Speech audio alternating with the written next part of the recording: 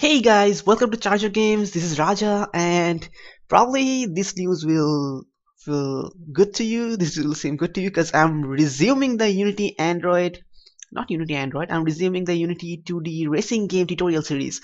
So, since the last time we left off, we had something like this.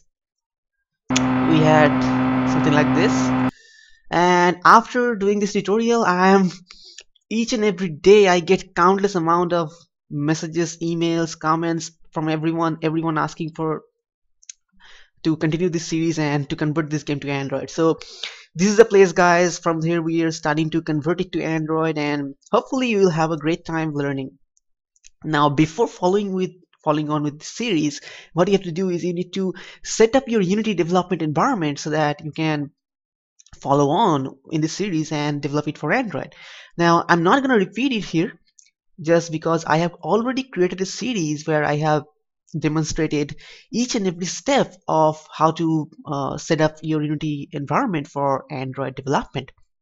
So you need to watch that series and you to you need to watch at least two videos uh, in order to set up Unity and then you need to continue with this one. Okay. Now I'm gonna add those videos in this playlist and along with that I'm gonna also show you where are those videos so that you can watch the first videos so you just need to go to my channel charger games. From there you just click on playlists.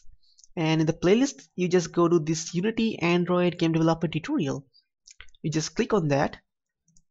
And this is the playlist that you need to watch. And from there you need to watch at least the first and second videos. In the first video we'll set up the android sdk jdk and in the second video we will set up the unity remote which is gonna be very very helpful while developing for android because it's it works as a remote and we can directly we can at runtime we can check out whatever happening by uh, touching or rotating it on our real device. Okay so make sure to watch these two videos before continuing with this series. Okay. Now we will need these things later but I will tell you whenever we need these things so that you can watch that.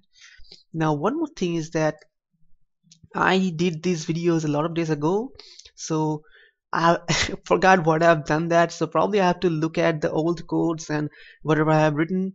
Now maybe when we try to convert it to Android maybe there will be some problems because we were uh, until now we were developing it for as you can see PC Mac and Linux standalone. Now if we try to develop for Android there will be some changes. There may be some problems.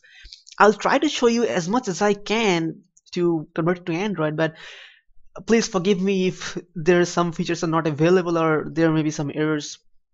I'll try to do some as much as possible. And in places wherever something doesn't work for Android or uh, if we can try to convert it to Android and, and if something doesn't work then we may need to do it again.